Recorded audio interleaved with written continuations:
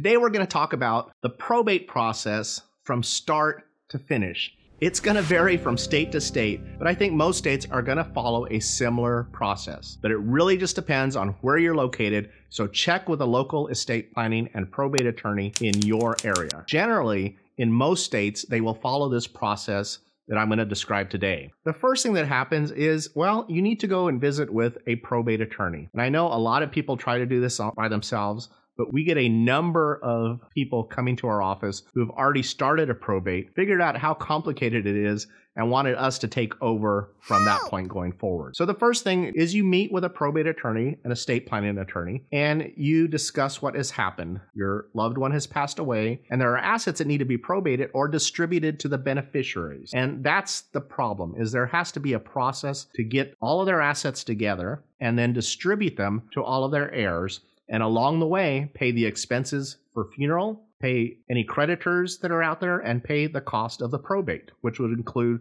court fees and attorney fees. So once you've visited with your attorney, they're going to have a lot of questions about who your loved one was, where did they live, what county did they live in, what state did they live in, and all that is important because usually in most states, the estate has to be probated in a district court that the person actually lived in. And things can be a little bit different if they had property or real estate in two different states. But we won't get into that today. Once we kind of figure out what is going on, we will file what's called a petition for probate.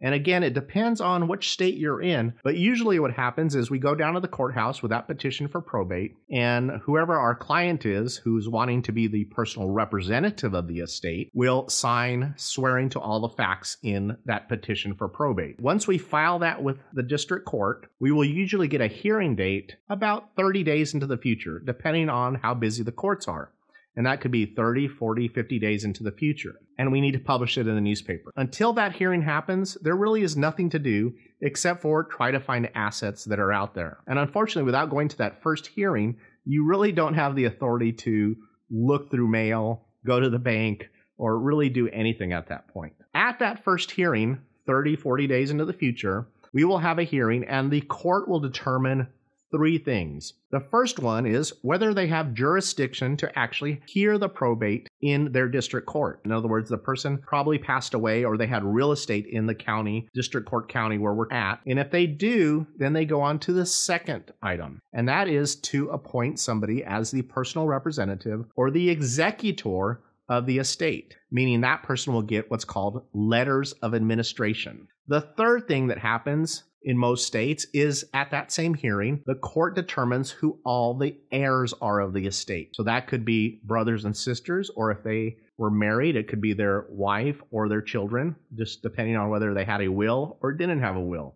But that's another video on intestate succession. So once the court has decided those three things, that it has jurisdiction, appoints somebody as the executor, personal representative, and determines who the heirs are, then the next thing that usually happens is we file what's called notice to creditors.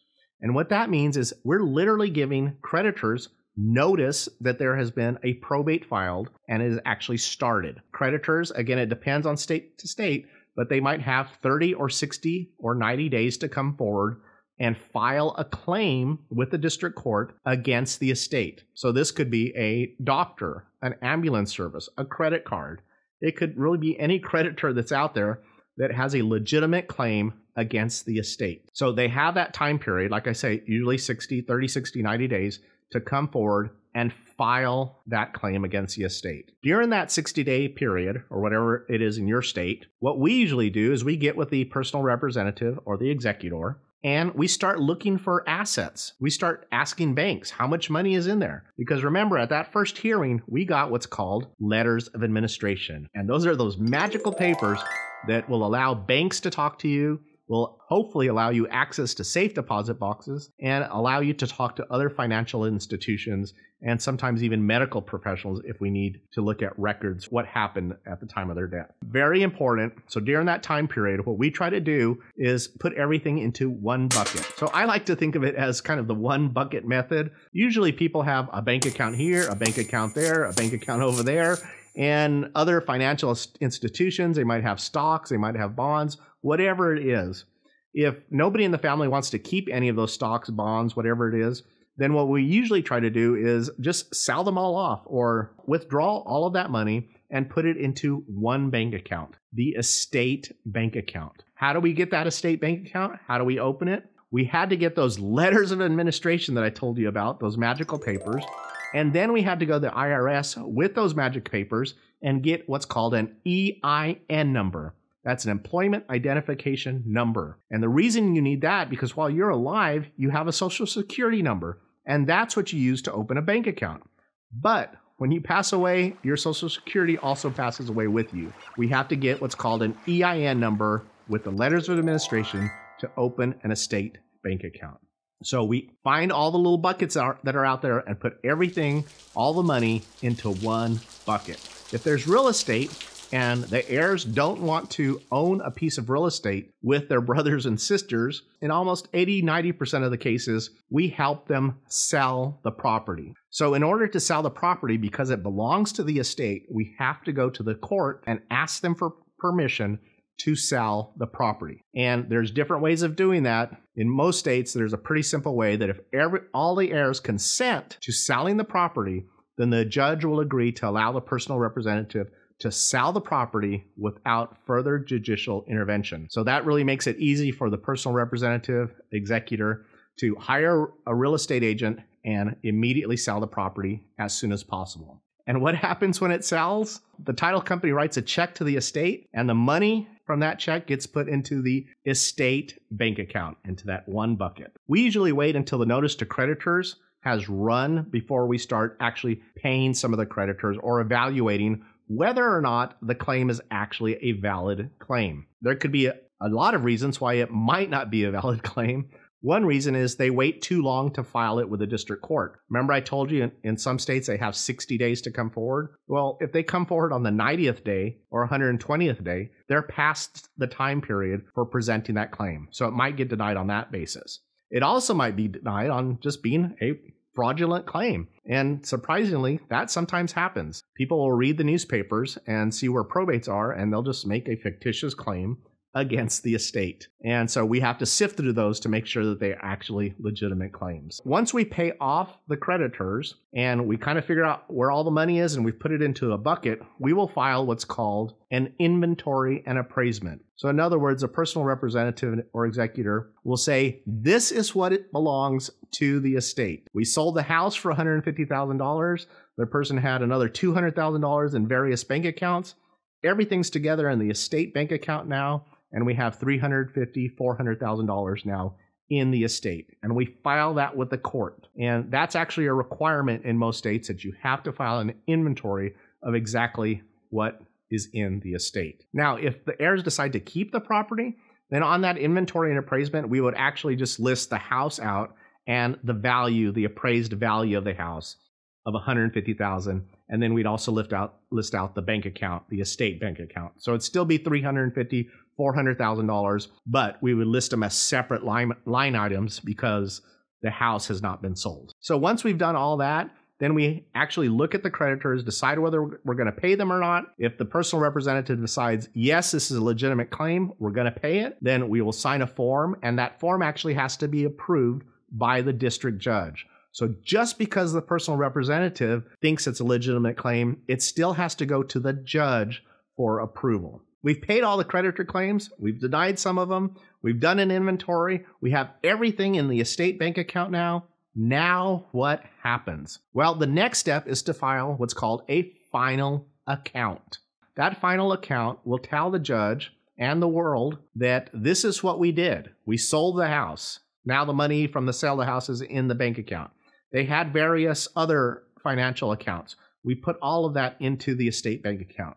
So, judge, world, this is what is in the estate. Kind of like the inventory, but what we're also telling the judge is that we have done, or the personal representative or executor, depending on what state you're in, has done everything that they're supposed to for this probate. In other words, we're ready to close the probate down and distribute it to the heirs. We file that final account, and depending on what state you're in, when you file it, then you have to set it for hearing because there has to be a final hearing in the future to hear that final account. We go to the district court, we file it, we talk to the judge's staff, and we get a date, usually at least 30 days, 40 days into the future. And we need to publish it.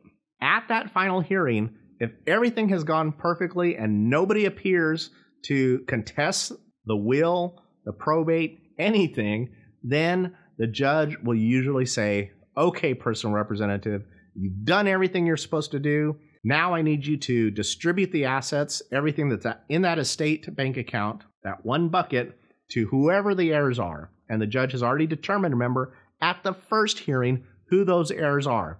So if the judge determined that there were three heirs, he orders the personal representative to divide the estate between those three heirs. Once the personal representative has done that, it's done. The estate is finally finished. Now I went through this very quickly, but if you noticed the time frame, the very first thing we had to file was a petition. Depending on where you are, that might be 30 days or 40 days into the future before you can actually have a hearing. Let's just do 30 for this example. Once we have that hearing, then we have to file notice to creditors.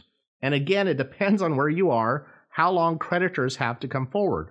For our purposes, let's just say it's 60 days. Now we're looking at 30 days for the petition, 60 days for the notice to creditors. That's already three months, guys. And then we do the final account and we have to wait at least another 30 days.